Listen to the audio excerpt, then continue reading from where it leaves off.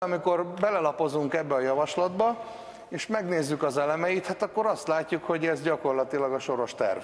Német Szilárd hosszasan bírálta az Európai Parlament határozatát.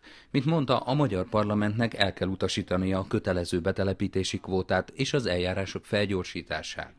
Kérdezem a tisztelt országgyűlést. A szocialisták nem vettek részt a szavazáson. Szerintük az Európai Parlament semmilyen soros tervről nem döntött, nem is dönthetne. Így a javaslat nem más, mint kampány és rémhírterjesztés. A Jobbik támogatta a javaslatot, de azt szerették volna, hogy a határozat mindenkire vonatkozzon, a letelepedési kötvényel érkezőkre is. Az együtt parlamenti képviselője jogi nonsensnek nevezte a javaslatot, oda is szúrt a Fideszes német Szilárdnak. Egyébként önök engedtek be 20 ezer ember pénzért, miről beszélünk.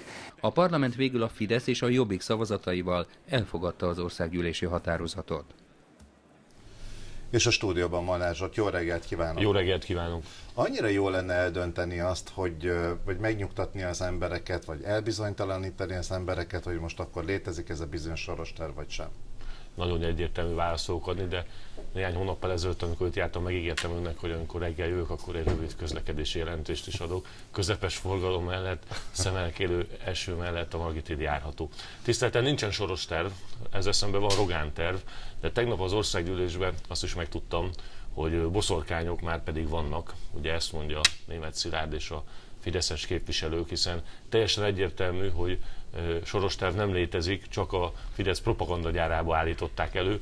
Szakpolitikusaik sem tudtak erről semmi konkrétat mondani, például a Nemzetbiztonsági Bizottság ülésén, a brüsszeli jó, hogy lehet határozatot is. hozni valami ellen, hogyha nem létezik az a valami? Ezt hívják rémhírterjesztésnek és jogi nonsensnek. Tegnap sikerült nekik egy olyan határozatot elfogadtatni, ami eljárási jogilag is nonsens, hiszen ha ilyen politikai nyilatkozatot el akarnánk fogadni, akkor nem határozati javaslatként, hanem politikai nyilatkozatként kell két harmadban néztem a számokat, ezért elég sokan elfogadták ezt Kétségtelen, a hát ugye meg főleg úgy, hogy mi ebben a cirkuszban nem vettünk részt, ezért nem is szavaztunk sehogy sem, hiszen egy nem létező tervről nem, nem lehet szavazni. Részt egyébként az MSZP miért nem vett részt ebben a cirkuszban, amikor pont ez lenne a dolguk, hogy amivel kapcsolatban álláspontjuk, már pedig határozott álláspontja van mondjuk egy pártnak, vagy egy képviselőnek, aki ott a parlamentben, az menjen el, aztán szavazzon. Na, a vitában részt vettünk, magam mondtam el a, az álláspontunkat, azonban a szavazásnál, ugye, ha valamiről szavazunk, azzal legitimáljuk magát az ügyet. Akkor is ha nyilvánvalóan nem szavaztunk volna, mert nem létezik soros terv. Tehát, ugye, ez nem így van. De ha azért... bemegy az ember, az, az önmagában egy legitimációs tényező, hiszen, hiszen olyanról vitatkoztunk, ami teljesen világos, hogy egyszerűen csak a,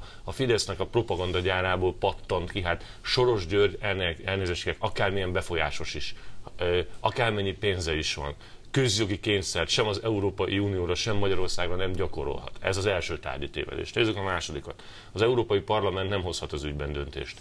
Az Európai Bizottság sem. Kizárólag az Európai Tanács hozhatna döntést, ahol a magyar köztársaságot, Magyarországot Orbán Viktor képviselője, a belügyminiszternek tanácsába pedig a belügyminiszter. Tehát, tehát annyira abszurd ez az egész, amiről zajlik, annyira a rémhírterjesztés és az átverés kategóriája, hogy ez nem lehet asszisztálni, és nem csak az MSZP, más pártok De akkor tudja, mit nem értek képviselő, akkor miért jön be ide az a TV stúdiójába, hogyha nem akarja ezt a parlamentben elmondani? Ezt elmondtam, bocsánat, szerkesztő, elmondtam a parlamentben. Jó, de, de kicsit mi... hiányoltam is a felkonferálásból, hogy elég részletesen elmondtam, Jaj, viccesen mondtam. de minden, mindenki bekerült, én ezt, ezt nagyon részletesen, nem, nem minden mondatot, de nagyon részletesen elmondtam. De a szavazásban nem vettünk részt, mert a szavazásban részt venni az azt jelenti, hogy egy legitim kérdésről igennel nem mert tartózkodással szavazunk. Ez ugye egy vállalhatatlan történet, ami zajlik, nem más, mint a Fidesz propagandagyára, kampánya, az emberek átverése, 10 milliárdok elköltése. És látom, hogy még népszavazást is szeretnének, na ezzel azért föltették az éle pontot. Boszorkányok vannak, ezt Jó, állítják. akkor ezt megkérdezhetjük öntől, vagy a, nem tudom, hogy azt lenne, hogyha minden ellenzéki pártnak a képviselő akkor itt lenne, hogy az ellenzék, mintha ilyen tehetetlen lenne. Nem így a soros tervvel kapcsolatban? Nem, az ellenzék a tettek mezeire lépett, és jövő tavasszal le fogja váltani ezt a kormányt. Leleplezi azt, hogy 10 milliárdokat síbolnak el, tüntetnek el, nemzeti konzultáció, népszavazás, Mondja ezt egy olyan pártnak a képviselője, aminek a támogatottsága már csak ugye egy számjegyű. Hát az, hogy pontosan a szocialista pártnak mekkora a támogatottság, az elég széles skálán mozog. Most Na, legutóbb, mondja bár nekem azt el, hát a kutatás, a kutató intézeteknél a teljes népességben 8-9%-ra mérik, ami a biztos hát pártáztok 10, hát a teljes népességben igen. Egyébként ilyen értelemben akkor azt kell hogy a Fideszen kívül mindenki egy számjegyű támogatottságú, mert a jobbikot is a teljes népességgel 9-re mérik. Tehát ilyen értelemben lehet ezt mondani. De most például Solymáron volt egy időközi választás, ahol az ellenzék 43%-ot kapott, egy olyan körzetben, amelyik aztán a Fidesznek az igazi Úgy, bázisa. hogy mindenki, még a Momentum is beállt mondjuk a, a független képviselő jelöltnek. nem megbántva a helyi támogatottság. Momentumot, egyelőre azért olyan komoly életjeleket Solymáron nem adott a Momentum, de tisztelem természetesen ezt a mozgalmat, de azért nem, nem ott kell keresni, hanem inkább a 2014-es pártok együttműködése eh, és a független jelölt húzó ereje az, amelyik inkább ezt Olyan a kifejezéseket 43%-ot. használ, amivel nagyon könnyű belekapaszkodnom, még mondjuk nekem is, hogy Tessék, nem adott olyan életjeleket a Momentum helyi szinten. Miért egyébként országos szinten az MSZP olyan nagy életjeleket kap? Hát, hogyha megnézzük a szombati rendezvényünket, hát arról szólt az elmúlt pár nap elemzése, hogy a szocialista pártnak a szombati rendezvénye, ahol Karácsony Gergely, Kunhalmi Ágnes, Hiller István hitet és lendületet adott az ellenzéknek, nem csak a Magyar Szocialista Pártnak, reményt adott arra, hogy lehet Az kormányváltás. Én szerintem ez egy komoly életjel. És Komoly, nagy- komoly, olyannyira, hogy ugye az önök pártelnöke még Karácsony Gergelyt is az együtt elnökeként szólította fel a színpadra. Nézze, egy Molnár egy Molnárt mindig meg fog védeni, és most nem Molnár Csabát, hanem Aj, Molnár Gyulára szép. gondolok. Ö, Teljesen egyértelmű, hogy annyit beszéltünk az együtt PM-ről, hiszen ez a szófordulat, hogy együtt PM az elmúlt években ö, beragadt Molnár beragadt, val- hát én csak vélelmezem, beszéltem erről. Azt gondolom, hogy egy rendezvényen az, hogy egy együtt PM szétbomlóban lévő követhetetlen együttműködésnek éppen hol tart a, a, a helyzete, ezzel jön a legnagyobb hiba, ettől meg le fogjuk váltani a kormányt, hogy, hogy, Szuper. hogy PM helyett együttet mondott elnök úr. Na, hadd kérdezzek öntől valami. Ez is fontos lesz szerintem, legalábbis azt szeretni fogják ö, hogy szeretik önök Karácsony Gergelyt?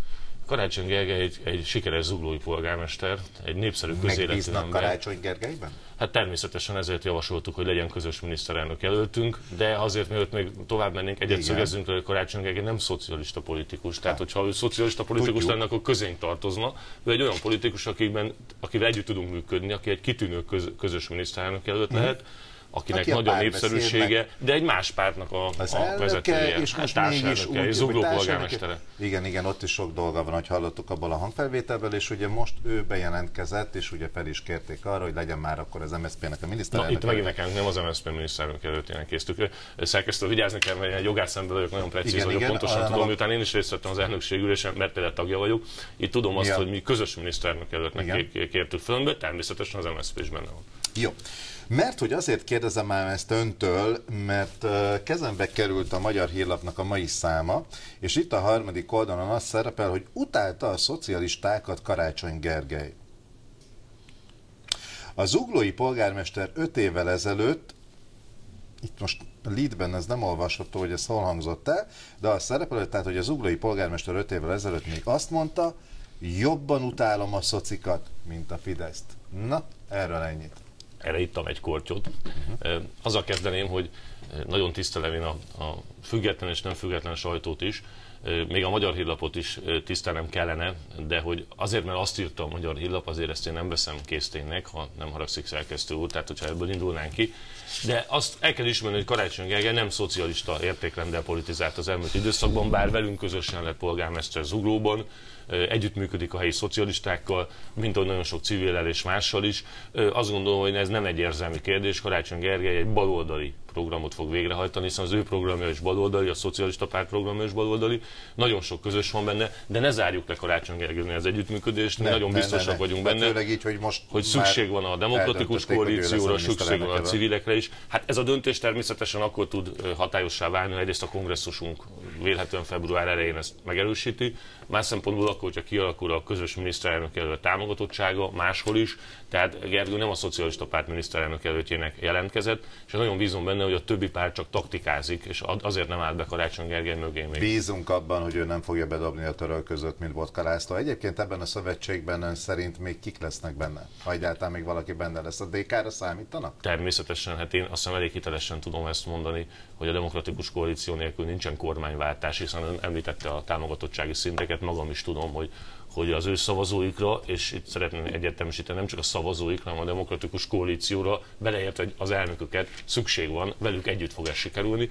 2014-ben és januárban alakult ki a végleges forgatókönyv. Én jobban örültem volna, hogyha ez korábban megtörténik, de jobb később, mint soha. Mondjon, mondjon valami szépet még róluk, mert hogy a következő vendégem Debreceni József lesz. Hát teljesen egyértelmű, hogy szükség van rájuk. Én nagyon bízom benne viszont, hogy kritikát is megfogalmazzak, hogy csak taktikáznak azzal, hogy a közös lista, közös miniszterelnök előtt konstrukció konstrukciót még nem támogatják, hiszen győzni Miért taktikáznának, amikor a cél az közös leváltani az Orbán kormányt? nyilvánvalóan mindenki a start pozícióját keresi egy ilyen együttműködésben, és az értető, hogy a demokratikus koalíció minél több képviselőt és több egyéni körzetet szeretne elvinni, illetve betenni a közösbe, de a közös lista, közös miniszterelnök előtt nélkül nem lehet leváltani a mai hatalmat, hiszen minden más konstrukció szavazatvesztéssel jár. lista, igen, igen. De hát ugye most még, hogyha jól figyelem a szavait, nagyon az egyéni jelöltek ügyében sem tudtak még dőlőre jutni, ugye? Tehát, hogy a Közel van, közel van a konszenzus közeli állapot, hát, a ezt, tárgyalások. ezt a kifejezést már régóta halljuk ám önöktől, ez a közel van. Már, már, már szinte már meg is állapodtunk.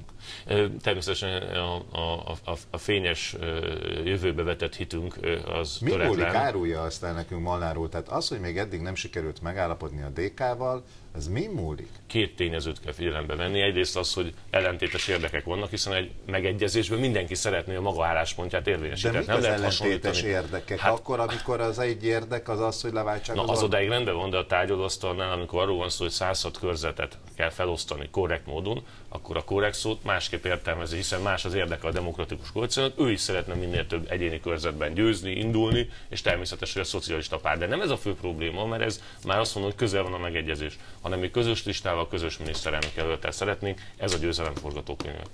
Ez a győzelem forgatókönyv, ennél szebb végszót nem is kaphattam volna. Köszönöm szépen, hogy itt volt. Köszönöm a lehetőséget.